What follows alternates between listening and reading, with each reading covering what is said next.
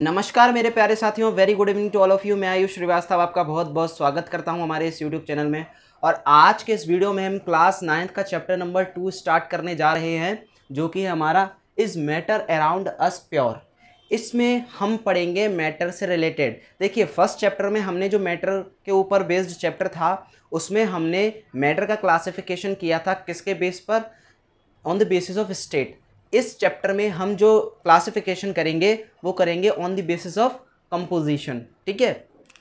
तो इस चैप्टर में अच्छा एक इम्पोर्टेंट न्यूज़ और है, जो भी बच्चे 2023 का एग्ज़ाम देने वाले हैं नाइन्थ क्लास में तो उनके लिए एक गुड न्यूज़ ये है कि इस चैप्टर में से थोड़ा पोर्शन कम हो गया है, जो कि है हमारा separating separating the components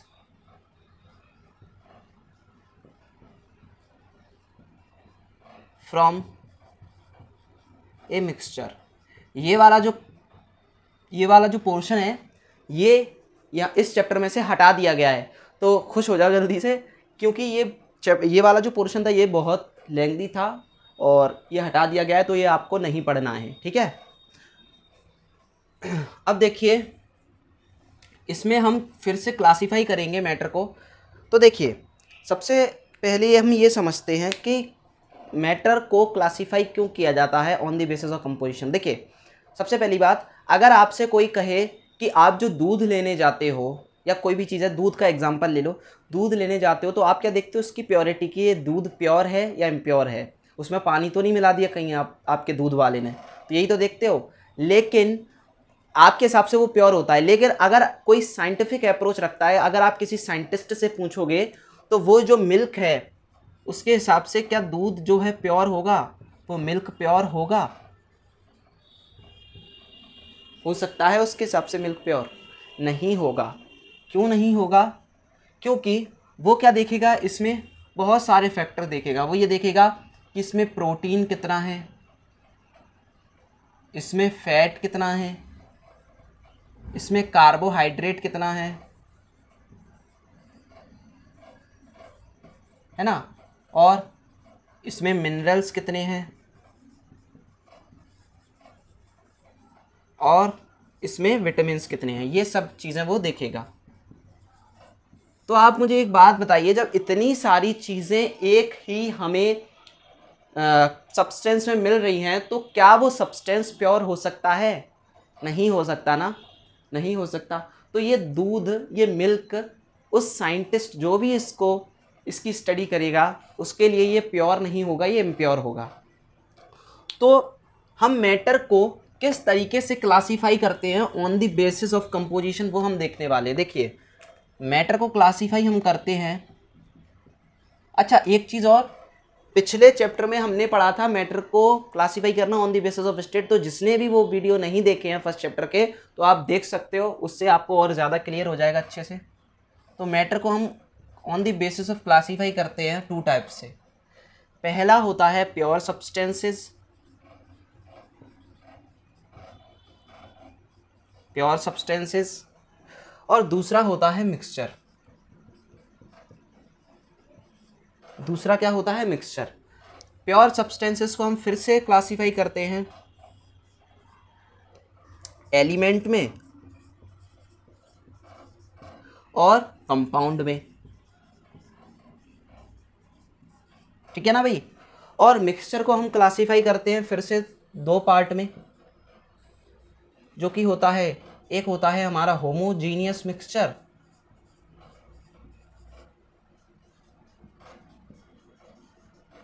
homogeneous mixture और second is heterogeneous mixture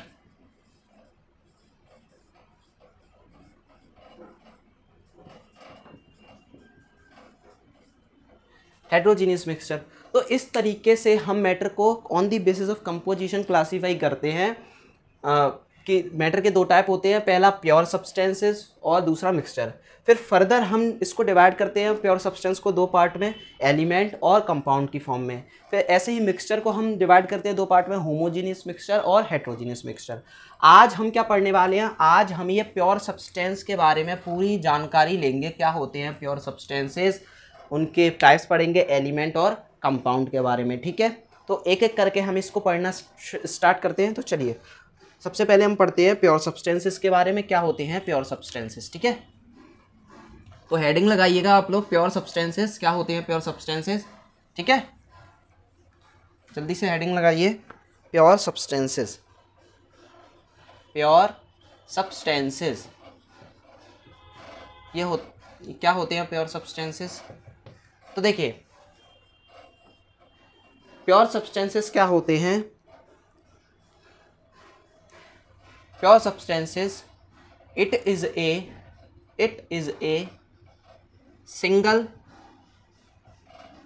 form of matter it is a single form of matter पहला पॉइंट यही है कि सिंगल फॉर्म ऑफ़ मैटर से बने होते हैं।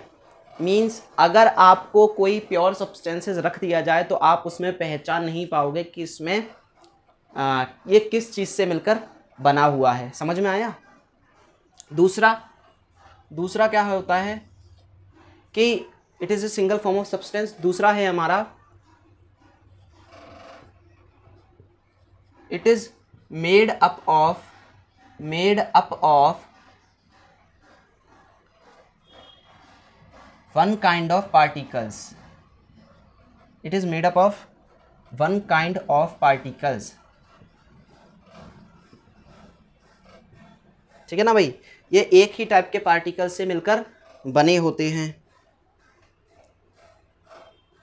ठीक है? तीसरा it is always homogeneous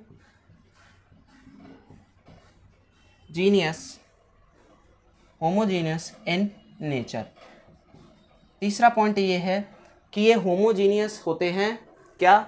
nature में। जैसे एग्ज़ाम्पल में हम देखें वाटर वाटर का फॉर्मूला क्या होता है? एच टू ओ होता है। मीन्स उसमें दो मॉलिक्यूल दो एटम होते हैं। हाइड्रोजन के एक एटम होता है किसका? ऑक्सीजन का। तो अगर आपसे कहा जाए कि भाई वाटर है एक गिलास उसमें से आप मुझे हाइड्रोजन बताओ कहाँ है हाइड्रोजन के एटम और कहाँ है ऑक्सीजन के एटम तो आप नहीं बता पाओगे। इसका मतलब ये होमोजीनियस होते हैं नेचर में। चौथा it it cannot it cannot be broken. It cannot be broken out into simple substance by chemical and physical method ये जो प्योर सब्सटेंसेस होते हैं, इनको हम इनको हम सिंपल सिंपल सब्सटेंस में केमिकल और फ़िज़िकल मेथड से हम इनको नहीं ब्रोक ब्रेक कर सकते, ठीक है? और क्या है? फिफ्थ पॉइंट है हमारा the melting and boiling point are constant इनका जो मेल्टिंग और बॉइलिंग पॉइंट होता है, वो कांस्टेंट होता है। जैसे हम वाटर का एक एग्जांपल लें वाटर का जो मेल्ट बॉइलिंग पॉइंट होता है हाँ मेल्टिंग पॉइंट अगर देखें हम वाटर का तो मेल्टिंग पॉइंट क्या होता है? वाटर का ज़ीरो डिग्री सेल्सियस मीन्स जो आइस होती है आइस क्या है? वाटर ये आइस का फॉर्मूला भी वाटर का ही होता है। एच टू ही होगा आइस का तो आइस जो होती है वो ज़ीरो डिग्री सेल्सियस पे मेल्ट होना स्टार्ट कर देती है। और यदि हम बॉइलिंग पॉइंट देखें उसका तो हंड्रेड डिग्री सेल्सियस है। बार बार चेंज नहीं होता। एक है जो फिक्स है मतलब कॉन्स्टेंट है। तो इसका मेल्टिंग पॉइंट भी क्या होता है? कांस्टेंट होता है। ठीक है? तो इतने पॉइंट समझ में आ गए। अब जिस जिसने भी नोट कर लिया है, वो बहुत अच्छी बात है। उनके लिए क्लैपिंग होनी चाहिए। क्योंकि आप जितना अच्छे से अपने हाथ से नोट बनाओगे, वो सबसे बेस्ट नोट नोट्स होते हैं। और जिन्होंने भी नोट नहीं किया है तो आप एक बार स्क्रीनशॉट ले लीजिए इसका। एक इम्पोर्टेंट पॉइंट और लिखाना रह गया इसमें। ये सिक्स है। यहाँ पर लिख देता हूँ they have a fixed composition इनका जो कंपोजिशन होता है, वो क्या होता है? फिक्स्ड होता है हमेशा। ऐसा नहीं है कि कितना भी मिला दो, आप तो कोई प्योर सब्सटेंस बन जाएगा। सपोज़ करो कोई हाइड्रोजन में अगर कितनी भी ऑक्सीजन मिला दो तो ऐसा नहीं है वाटर ही बनेगा। वाटर के लिए अलग कंपोजिशन फिक्स्ड है उसका, ठीक है? तो ये फिक्स्ड कंपोजिशन वाले होते हैं। समझ में आया? तो ये सिक्स पॉइंट है।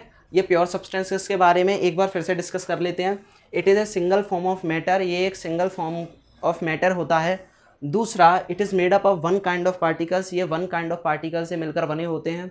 तीसरा it is a homogeneous in nature homogeneous होते हैं नेचर में, इनको आप पहचान नहीं सकते कि इसमें क्या क्या मिला हुआ है।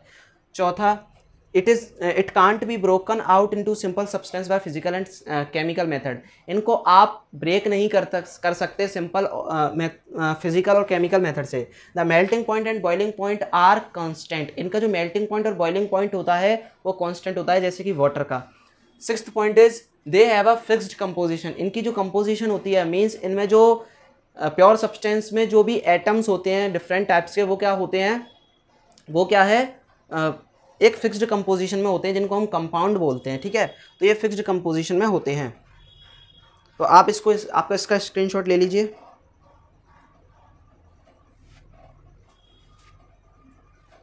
ले लिया?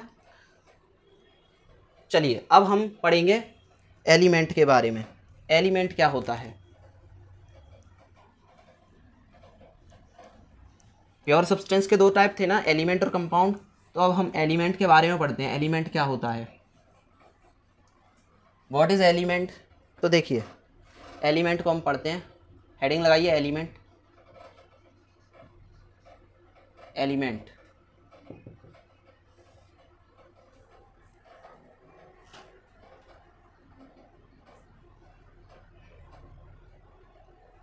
देखिए। It is a it is a species it is a species of atoms which have same number of same number of nuclei which have a same number of proton sorry which have a same number of proton proton in their nuclei ठीक है ना element क्या होते हैं element एक atoms की species होती है जिसमें जिसके न्यूक्लियाई में सेम नंबर ऑफ़ एटम्स होते हैं क्या कह रहा हूँ मैं? एलिमेंट्स क्या होते हैं? एलिमेंट्स एटम्स की स्पीशीज़ होती हैं जिसके न्यूक्लियाई में, जिसके न्यूक्लियस में सेम नंबर ऑफ़ प्रोटॉन्स होते हैं। उनको हम क्या कहते हैं? एलिमेंट कहते हैं। It is it is denoted by it is denoted by symbols इनको कुछ सिंबल से डिनोट किया जाता है, जैसे हाइड्रोजन का अगर हम देखें। तो हाइड्रोजन को एस से डिनोट किया जाता है एच देखिए हाइड्रोजन जो पाया जाता है, वो किसमें पाया जाता है? एच टू में पाया जाता है मीन्स डाई एटमिक मॉलिक्यूल है। आप ये समझ लीजिए कि एटमॉस्फेयर में, हमारे जो एटमॉस्फेयर है, उसमें बहुत ही मतलब एट सिंगल एटम कोई भी नहीं पाया जाता फ्री एटम कोई भी नहीं पाया जाता, वो सारे ही मतलब मॉलिक्यूल्स की फॉर्म में पाए जाते हैं। या तो कोई रिएक्ट करके कंपाउंड बना लेते हैं, या फिर क्या करते हैं वो? मॉलिक्यूल्स की फॉर्म में पाए जाते हैं। जैसे हाइड्रोजन हो गया, वो एच टू मीन्स मीन्स ये क्या करता है? डाई एटमिक मॉलिक्यूल बनाता है। ऐसे ही सल्फ़र हो गया। सल्फ़र भी एक एलिमेंट है। इसको हम एस से डिनोट करते हैं सल्फ़र को। लेकिन ये एटमोसफेयर में एस एट की फॉर्म में पाया जाता है। ऐसे ही सिलिकन है। सिलिकन सिलिकन को हम एस आई से डिनोट करते हैं। है ना? और भी हैं, जैसे बोरॉन हो गया। बोरॉन को हम क्या करते हैं? बी से डिनोट करते हैं। तो बहुत सारे ऐसे एलिमेंट हैं। ऑक्सीजन हो गया कार्बन हो गया। ये सारे एलिमेंट हैं जिनको हम एक स्पेसिफिक सिंबल से डिनोट करते हैं। तो ये एलिमेंट होते हैं, ठीक है?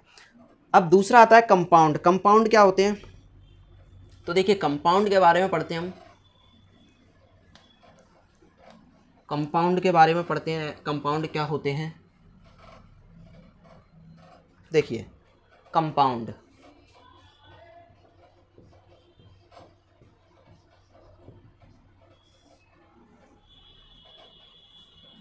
देखिए कंपाउंड क्या होता है? It is made up of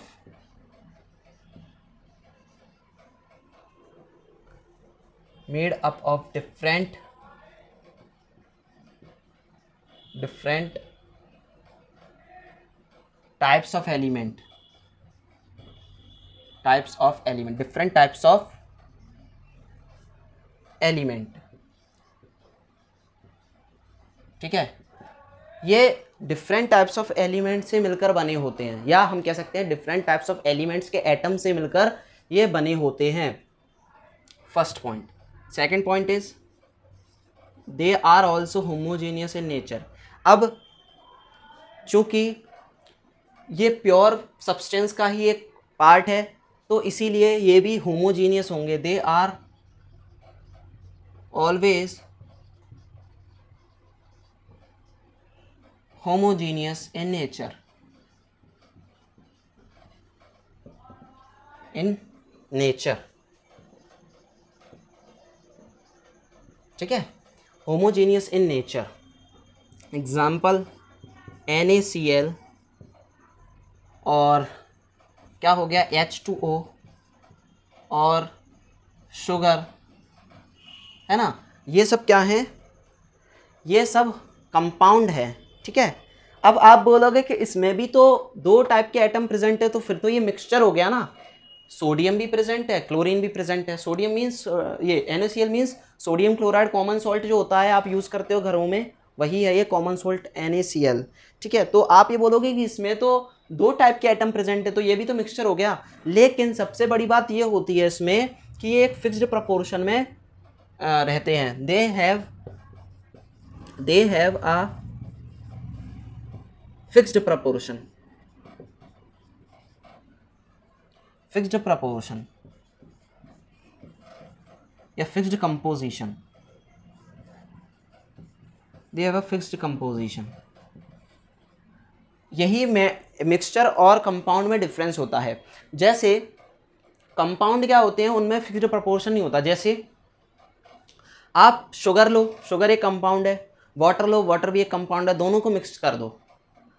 अगर आप एक चम्मच शुगर डालोगे तो भी चाशनी बनेगी, आप दस क्विंटल शुगर डाल दोगे तो भी चाशनी ही बनेगी। ठीक है? लेकिन क्या आप वन अगर आप बहुत सारे एटम सिर्फ़ सपोज़ करो आपने सौ एटम मिक्स कर दिए किसके? सोडियम के किसमें? टेन एटम्स ऑफ़ सीएल में। तो क्या एन बनेगा? नहीं बनेगा ना। कंपाउंड नहीं बनेगा। तो इसका मतलब ये है, ये कंपाउंड इसीलिए होते हैं क्योंकि ये क्या है? इनमें फिक्स्ड कंपोजिशन होती है। इनमें क्या होती है? फिक्स्ड कंपोजिशन होती है। और सबसे इम्पोर्टेंट चीज़ ये है इसमें। सबसे इम्पोर्टेंट चीज़ ये है a new compound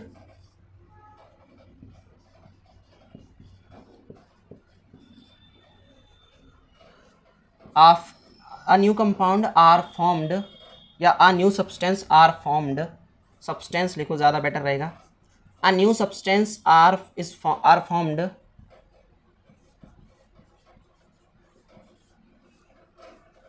after the constituent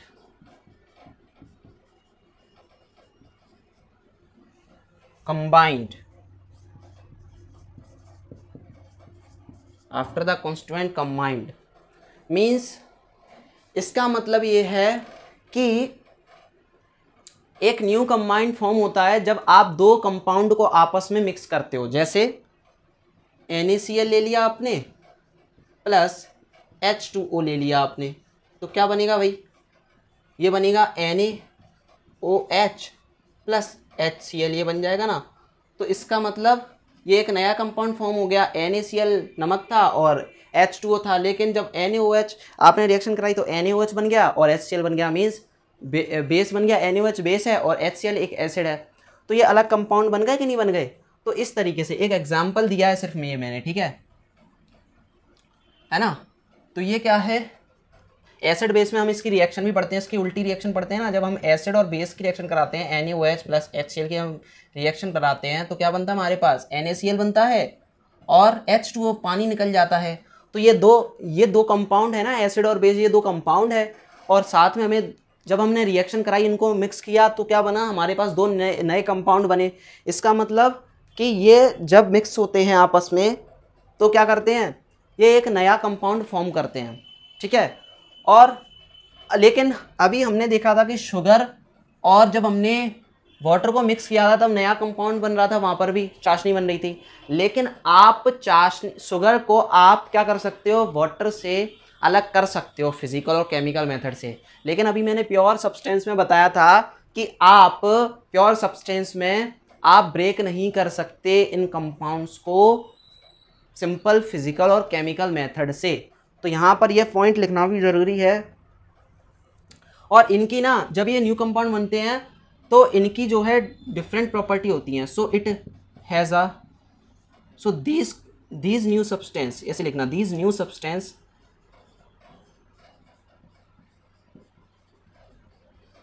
has a different property इनकी जो प्रॉपर्टी होती है, वो डिफरेंट होती हैं। समझ में आया? किससे? पुराने वाले से। अभी हमने कराया था N O H plus H C L क्या था वो? एन ओ एच बेस था। एच सी एल एसिड था। जब हमने रिएक्शन कराई तो क्या बना? एन बना, जो कि बिल्कुल उसकी प्रॉपर्टी मैच नहीं करती एन और एच सी, और वाटर की भी प्रॉपर्टी मैच नहीं करती। तो वो अलग चीज़ है ना? अलग चीज़ हुई थी तो न्यू सब्सटेंस जो बनते हैं, उसकी प्रॉपर्टी डिफरेंट रहती हैज़ डिफरेंट प्रॉपर्टीज़ प्रॉपर्टीज़ यहाँ पर लिखना हैज़ डिफरेंट प्रॉपर्टीज़ समझ में आया? इसकी डिफरेंट प्रॉपर्टीज़ होती हैं। एग्ज़ाम्पल में आप ले सकते हो।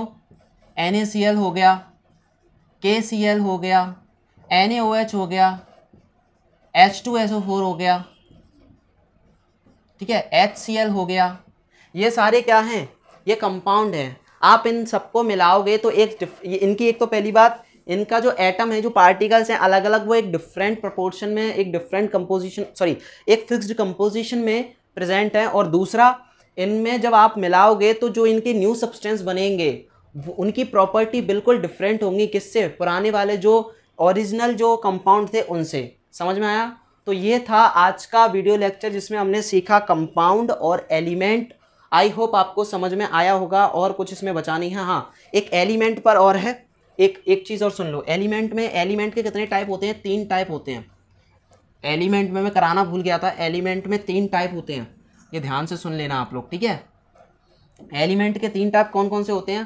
कंपाउंड तो मैंने आपको बता दिया पूरी प्रॉपर्टी एलिमेंट को हम फिर से तीन पार्ट में डिवाइड करते हैं। और वो तीन पार्ट होते हैं इसके। पहला होता है मेटल दूसरा होता है non metal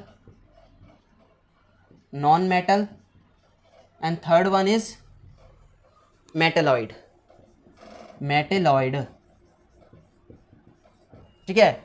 मेटल क्या होते हैं? मेटल जनरली हार्ड होते हैं। सॉलिड स्टेट में पाए जाते हैं। ठीक है? और शाइनी होते हैं। और भी प्रॉपर्टी हैं, जैसे good conductor of heat and electricity होते हैं, ठीक है? और लस्चरस होते हैं डक्टाइल होते हैं मेलिएबल होते हैं मींस इनका जो है, इनको एक थिन शीट में कन्वर्ट किया जा सकता है, और डक्टाइल मींस इनको जो है वायर की फॉर्म में कन्वर्ट किया जा सकता है है ना? तो ये मेटल होते हैं। नॉन मेटल क्या होते हैं? नॉन मेटल वो सारे मेटल वो चीज़ें होती हैं, जैसे जो, देखिए, मैं आपको लिखाई देता हूँ यहाँ पर। नॉन मेटल देखिए मेटल की प्रॉपर्टी क्या होती है? जनरली ये सॉलिड होते हैं एंड हार्ड होते हैं। एक्सेप्शन है भी है, इसमें एक्सेप्शन है, जो कि मरकरी मरकरी एक मेटल है, लेकिन वो लिक्विड स्टेट में पाया जाता है, ठीक है? रूम टेम्परेचर पर। दूसरा, ये मेलिएबल होते हैं। तीसरा, ये डक्टाइल होते हैं। ठीक है? चौथा, इनमें शाइनी सरफेस होती है इनकी ज़्यादातर। बहुत सारी प्रॉपर्टी हैं। Good conductor of heat and electricity होते हैं। यानी कि इनमें से जो है हीट जल्दी से पास हो जाती है। Good conductor of heat and electricity electricity and heat and heat समझ में आया? और ये क्या होते हैं? नॉन मेटल नॉन मेटल वो सारे मेटल होते हैं जो जनरली हार्ड नहीं होते सॉफ्ट होते हैं। ठीक है? और मेलिएबल नहीं होते नॉन मेलिएबल होते हैं। ठीक है? और एक और प्रॉपर्टी आप कह सकते हो कि मेटल को जब हम बीट करते हैं तो उसमें से रिंगिंग साउंड आता है। जैसे आप टेंपल में या मंदिर में कहीं जाते हो तो आप वो घंटी लगी होती बजाते हो तो कैसी रिंगिंग साउंड आता है? टन टन, ऐसे ही। तो ये रिंगिंग साउंड आता है। लेकिन अब अगर आप कभी किसी प्लास्टिक की चीज़ को ठोको या उसको बीट करो तो उसमें जो है मैली रिंगिंग साउंड नहीं आएगा। तो ये भी एक पहचान है। अब ये नॉन डक्टाइल होते हैं। इनमें डक्टिलिटी नहीं होती। डक्टिलिटी ये शो नहीं करते। नॉन डक्टाइल होते हैं। ठीक है ना भाई? और शाइनी नहीं होते ज़्यादातर। और गुड कंडक्टर ऑफ़ हीट और इलेक्ट्रिसिटी नहीं होते। गुड कंडक्टर ऑफ़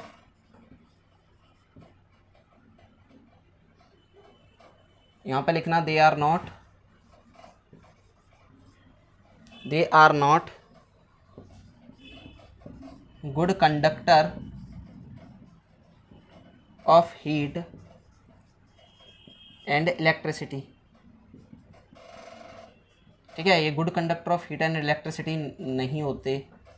इनमें से हीट और इलेक्ट्रिसिटी पास नहीं होती। आपको आ, कि आप सोचो कि प्लास्टिक की किसी चीज़ में से हीट और इलेक्ट्रिसिटी पास हो जाए, वो नहीं होगी। हाँ सिर्फ़ एक एक्सेप्शन है इसमें कि जो ग्रेफाइट होता है, वो एक नॉन मेटल है, लेकिन ग्रेफाइट जो पेंसिल में आपकी नोक होती है ना, उसको कभी ऐसे बोर्ड में मत लगा देना, दोनों तरफ़ से छील कर करेंट लग जाएगा, क्योंकि वो एक नॉन मेटल तो है, लेकिन एक एक्सेप्शन भी है उसमें कि उसमें से हीट और इलेक्ट्रिसिटी पास आउट हो जाती है। अब ये अपने तीन चीज़ें पढ़ ली दो चीज़ें पढ़ ली मेटल और नॉन मेटल के बारे में, हम तीसरी चीज़ पढ़ते हैं मेटलॉइड क्या होता है? तो मेटलॉइड क्या होता है? मेटेलॉइड एक ऐसे सब्सटेंसेज होते हैं, जो मेटल की भी प्रॉपर्टी शो करते हैं और नॉन मेटल की भी प्रॉपर्टी शो करते हैं, ठीक है? मेटल की भी प्रॉपर्टी शो करते हैं नॉन मेटल की तो कैसे लिखेंगे हम? It is a substance it is या हम ऐसे लिख सकते हैं? They are the substances which show the property which show the properties of metal as well as non metal ठीक है? Metal as well as non metal तो ऐसे ऐसे सब्सटेंसेस जो मेटल और नॉन मेटल दोनों की प्रॉपर्टी को शो करते हैं उनको हम क्या बोलते हैं? उनको हम बोलते हैं उनको हम बोलते हैं आ, क्या नाम है? मेटलॉइड तो अगर आप इसके एग्ज़ाम्पल को देखें तो एग्ज़ाम्पल है हमारे। इंक ख़त्म हो गई यार, रुको। एग्ज़ाम्पल इसके हो सकते हैं आर्सेनिक जर्मेनियम सिलिकन ये सब इसके एग्ज़ाम्पल हैं, ठीक है? और नॉन मेटल में एग्ज़ाम्पल हो सकते हैं ऑक्सीजन कार्बन बोरॉन ये सब क्या है? ये इसके एग्ज़ाम्पल है नॉन मेटल के।